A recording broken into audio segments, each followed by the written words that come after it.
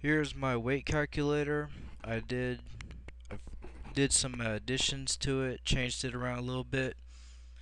Um, pretty much the same, kinda. You still select what kind of stock you want. Only I got more selections. You can I added wire and sheet. Wire is um, well, an example is let's say you have five feet of wire and then you come over here and select what gauge you want let's do 14 gauge.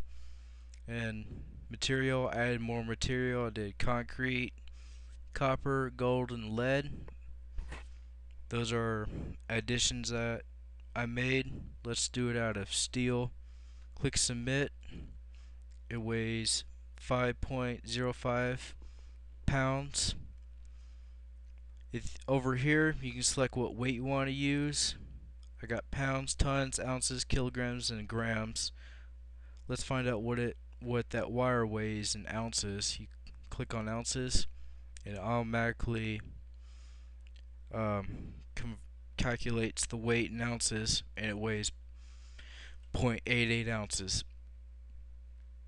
Over here you can change your I call it the unit of measurements. You can do feet or inches, which what is my first version was always always been. Then you can do meters and centimeters, or meters and centimeters, yeah, and then centimeters and millimeters. Let's do meters and centimeters.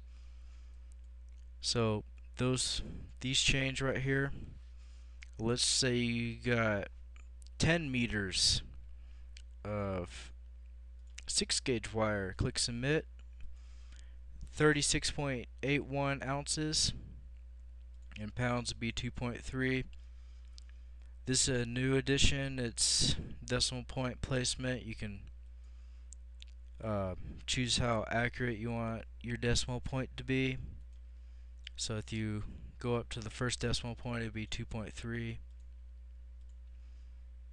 Or, yeah, you can see right here 0.89, 0.0, 0.809, and you can do the decimal position up to uh, 10. Down here I got the Windows calculator.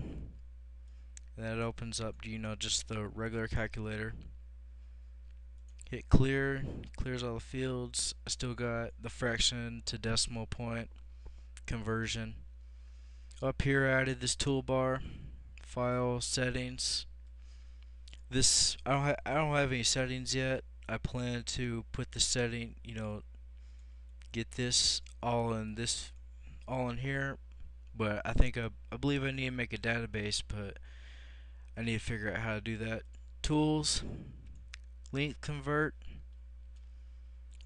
Um, say you want to convert millimeters to feet, I don't know, and then just let's just say 200, 2000 millimeters to convert, and that's the output would be 6.56 feet, and then uh, clear, close, value. Added this about a week ago, but say um, you want to know, say like the price of copper is 0.5 pounds point three point one five pounds. I don't know if I'm saying that right. I'm not. Yeah, price per pound, three dollars and fifteen cents. And then you have four pounds of that. Click submit.